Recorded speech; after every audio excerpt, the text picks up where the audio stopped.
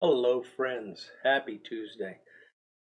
Unusual Tuesday afternoon video, um, and this is the second time I'm making it because it turns out when you buy a nifty new microphone, you have to remember to turn it on.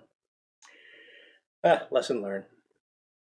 So I'm making this video uh, for my, at, at the request I suppose, of my buddy Luke Risner, uh, who I think is still my friend and he tagged me in a response that he had to Buckeye Piper's original video, talking about a collection of five tobacco that you would have under various circumstances.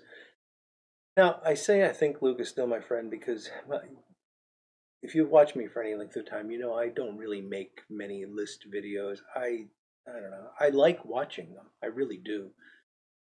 But making them, I'm a boring guy. I really don't have the variety that, that a lot of folks have in their in their rotation.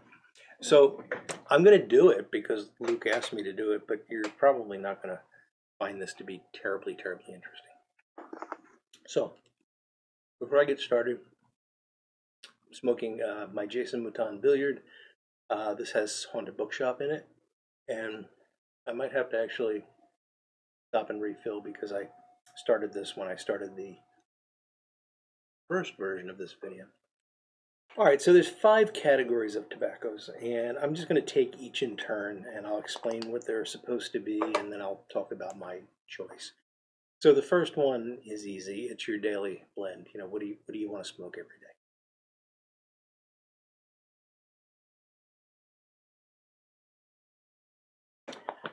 No surprise, it's Haunted Bookshop. I mean, I, have been smoking it for years. It's become the only thing I want to smoke. And when I'm smoking other blends, I'm thinking about how they're not Haunted Bookshop. Uh, I love the balance in that blend. I love the Perique. I love the way the Virginias and the Burleys work together so well. Uh, very burley forward, which I appreciate in a blend, but there's plenty of red Virginia in there to give you that Virginia sweetness. It's just a fantastic and I don't know why anybody would smoke anything else. But, you know, it's what keeps life interesting is that folks have different uh, opinions on such things. That's my daily smoke. And, you know, I, I smoke a lot during the day, so especially since I'm working at home now, um, I smoke somewhere between 8 and 12 bowls a day. And I would say, let's just say it's 8 for the sake of argument. I would say that during a typical day, Six of those are going to be Haunted Bookshop. So that's my daily smoke. The next category is an over the counter blend. Now, a few years ago, I would have probably said, more than a few, six or eight years ago, I would have probably said that this these were the same, my daily blend and my OTC blend. And that would, of course, be Carter Hall. So, Carter Hall have loved it for years. Um, smoke it pretty much every morning. Uh, many people have said this, but it goes great with coffee. It's just a wonderful, simple, easy blend. Uh, doesn't need a lot of care. You stuff it in the pipe, you light it up, and you're good to go. Got great burley flavor. Uh, yeah, so Carter Hall definitely would be my over the counter. Now, the truth is, if you were to restrict me to, oh, it's the wrong side. If you were to restrict me to these two, I'd be a happy guy. I mean, I could go months at a time with just those two. You know, and you can see I, I have the tubs. Actually buy the Haunted Bookshop by pound. You know, they buy two to three pounds at a time. And I'm supposed to jar some of that up for my cellar, but very seldom does any actually make it into and I buy the, the Carter Hall by the tub. If Carter Hall goes away, and there's been talk about that, Sir Walter Raleigh is a perfectly good uh, Burley that I that I could slot in there, and I'd be a happy guy. But we'll see what happens. Anyway, that's that's my daily and my OTC. Now my list is going to get a little crazy, and I'm going to depart from a lot of what the Buckeye Piper outlined.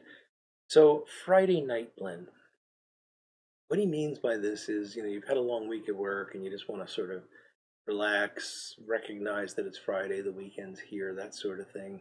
Um, you know, what blend are you going to break out for that occasion? Well, for me, it's going to be Haunted Bookshelf.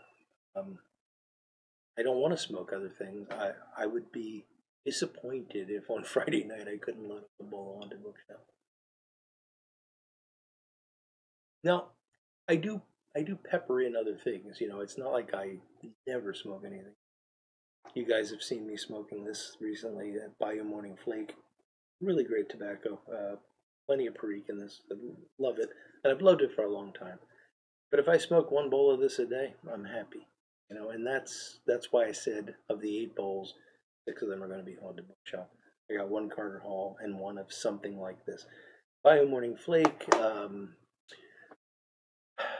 J.M. Boswell's Private Stock, uh, the Jupiter blend from Savinelli. These have all been recent uh, sort of additional things that I that I, I sprinkle in during the day. But you know, when Friday night comes, it's not like I'm thinking, oh boy, I'm finally going to smoke some Bayou Morning. No, I'm thinking, oh boy, I get to have another bowl of Haunted Bookshelf. That's just the way I am. So I don't really have a Friday night blend.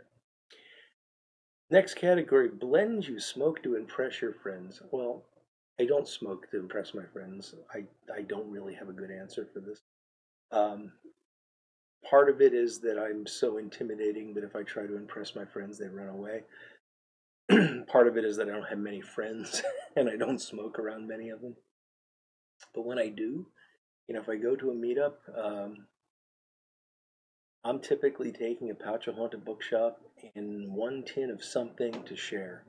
Um, and I share the Haunted Bookshop, but most people have had it or don't want it.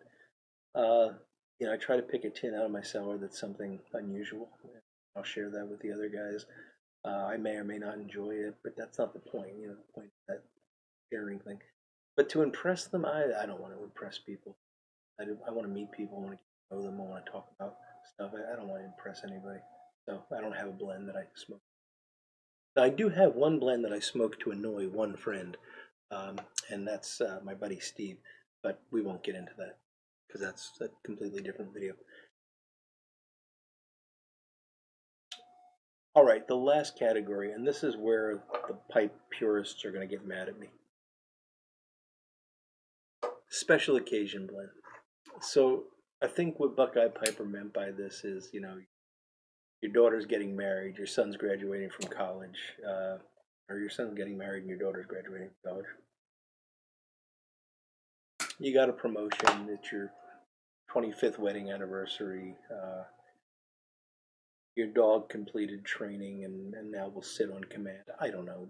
Th- those kinds of things. Yeah, maybe maybe holidays, Christmas, Thanksgiving, New Year, maybe, maybe things like that. Um, so what's the blend that I break out for those? Well, you know, I've talked about holiday blends. I've not found one yet that the only one that I've found that I really enjoy is I like Germain plum cake around Christmas, but it's hard to get and I don't smoke. Um, but that's not really what we're talking about. This is like any special occasion. And to be honest, when I think about that, I don't think of pipes. Um, that's my mind goes immediately to cigars. And I want I like to commemorate special occasions with cigars not even necessarily a special cigar. You know, whatever I got in my humidor. It's a special occasion for me to smoke a cigar because I do it so infrequently. I usually do it once a week now. And I'm happy with that, but when I do smoke it, I really enjoy it. And that's what I would do for a special occasion. So my special occasion tobacco is cigars. Sorry if that's uh, offending you pipe purists. So there you have it. That's that's my five. Um, I hope I didn't go so far off the list to uh, to make this an irrelevant exercise, but you know, I enjoyed I enjoyed talking about it. Uh, the last thing I have to do is I have to pick three more people to tag so that they can be it, and I don't know what happens if you don't. You know, like a chain letter. If you break the chain, you. But I'm gonna I'm gonna nominate three folks, and if you would be willing, I would love to hear your thoughts on these five categories. So the first person I'm going to nominate is my buddy Kilted Piper Steve. Steve, I hope that you will be able to take a few minutes to tell us about your thoughts on these five categories. My buddy Armchair Piper. Ed, I I would love to get your input. I, I, I think it would be very interesting to hear how you think about this. And finally, my buddy Chris, the rambling dilettante. Chris, I'd like to hear your input, but I basically just wanted to make you. So I hope you enjoyed that. I hope that uh, it's interesting, uh, and and please don't don't do this to me anymore. no, I'm just teasing. I I enjoyed it. I don't making these kinds of videos, but it was fun to put this together. And uh, I like I said, I love watching them. They, they can be a lot of fun. All right, folks. You all take care, and we'll talk again very soon. Bye now.